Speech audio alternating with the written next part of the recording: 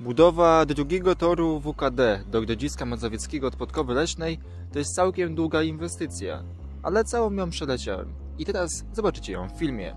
Zaczynamy!